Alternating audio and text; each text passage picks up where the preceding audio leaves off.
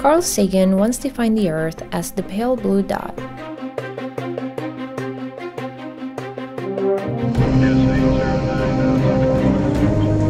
Seventy percent of its surface is covered by water.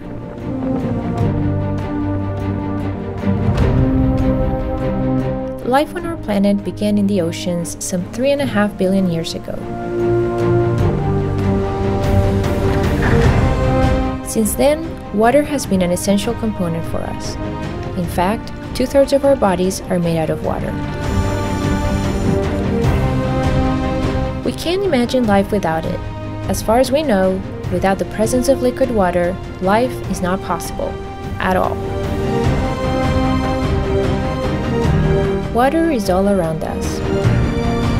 It's not only in our oceans, but we also find it in rivers, lakes, ice, rain, clouds, even in the air we breathe in, as it's continuously evaporating into the atmosphere.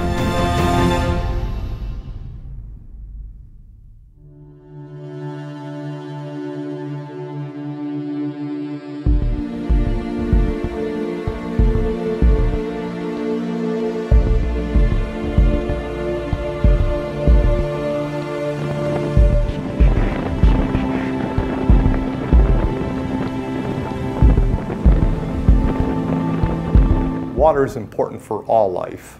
We wouldn't have life on this planet if there wasn't water. When astronomers try to think about other planets and whether they have life on it, the first question they ask is, is there liquid water?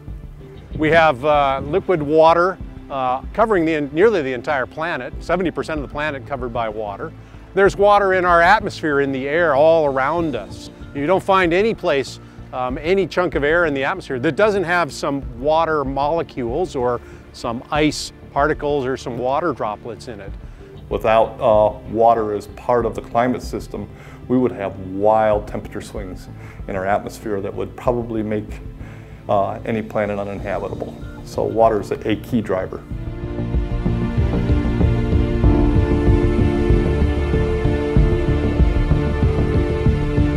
So water is everywhere.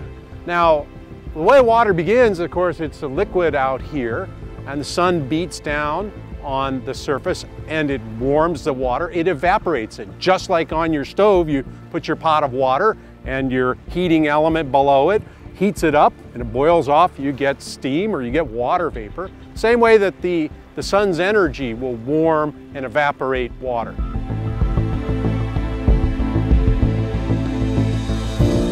That water rises in our atmosphere, and as it rises, temperatures are cooler aloft, and so you form clouds. Clouds are water particles.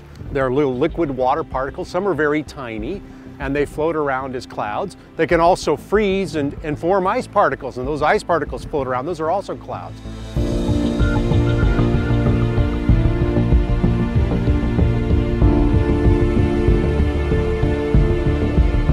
As the atmosphere moves that water vapor around and those cloud droplets, they fall out of the sky and they come down on the surface and they feed our lakes and our streams. They make the soil wet so the crops can grow. Water is really a fundamental part of our, of our planet.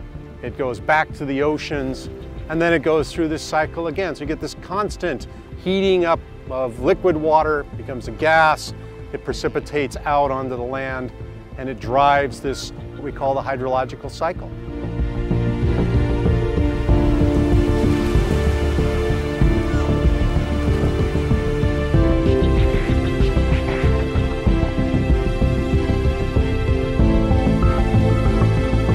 So as water comes into the atmosphere, it has a number of effects. So it helps to make clouds, it helps to make rain, but water is actually a very important greenhouse gas. Also, water carries energy with it. As you, have, it takes a lot of energy to evaporate water. And then when water forms cloud droplets, it releases energy. So water is a big component of not only the hydrological cycle, the movement of water, but the energy cycle of the planet also, because it's a greenhouse gas and because when you evaporate water, it carries a lot of energy. So the way it works is when we change the atmosphere, put more carbon dioxide in it, it gets warmer and that allows the atmosphere to hold more water The water is also a greenhouse gas, so that increases the temperature further, so it's a feedback effect.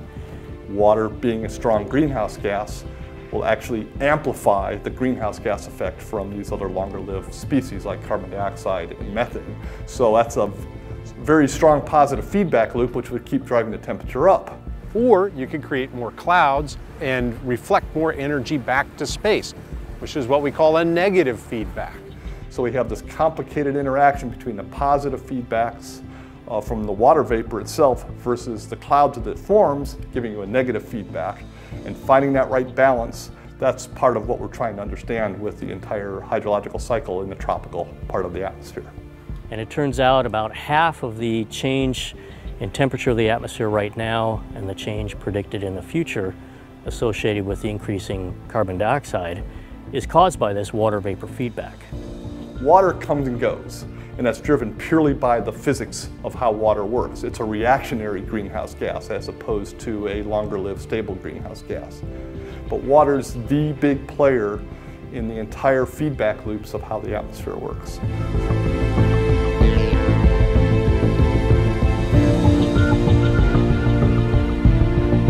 So it's very warm here in the tropics and it's very moist. And so the air down near the surface has a lot of energy in it. So deep convection in the form of thunderstorms and typhoons um, actually are more energetic. They go to higher altitudes. And so it can go quite high. We see these big thunderstorms that develop and that's this air being funneled up just like a boiling pot of water. The air gets funneled up into the upper troposphere here and actually go very high. And so that extends the troposphere upward to higher altitudes and the temperature keeps decreasing as you go up and so it's colder. And so eventually most of the water gets frozen out as you get up to these altitudes of 50, 60,000 feet. So it's incredibly dry, even though down at the surface in the tropics, it's, it's very wet and moist. It's very high humidity, it's damp. When you get to 55,000 feet, about 16 kilometers up, it's incredibly dry. You still get some water making it up to the tropical tropopause, and there the atmospheric motions transport air into the stratosphere.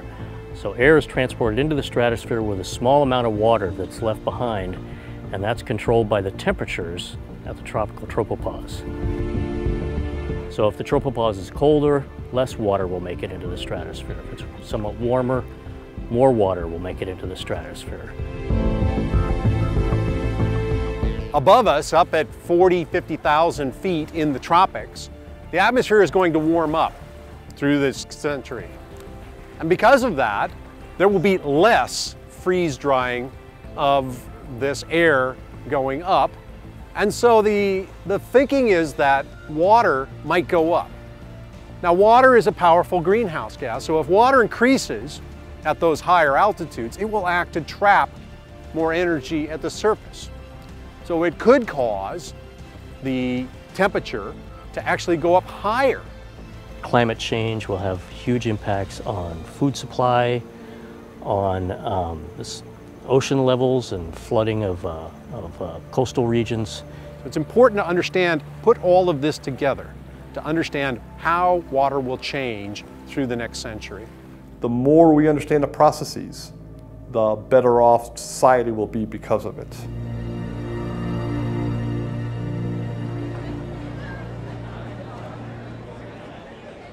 ATTREX, when studying the tropical tropopause, is addressing a key uncertainty in our ability to predict future changes in climate in response to human influences.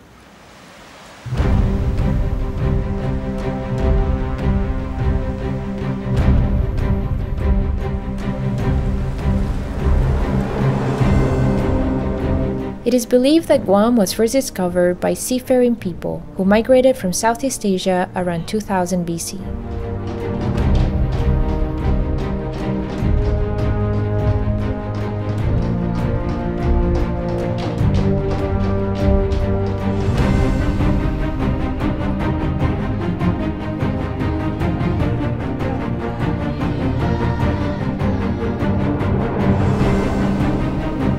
Portuguese explorer Ferdinand Magellan arrived at the island in the 16th century, he found a highly stratified society, experts in the art of sailing and skilled craftspeople, the Chamorro.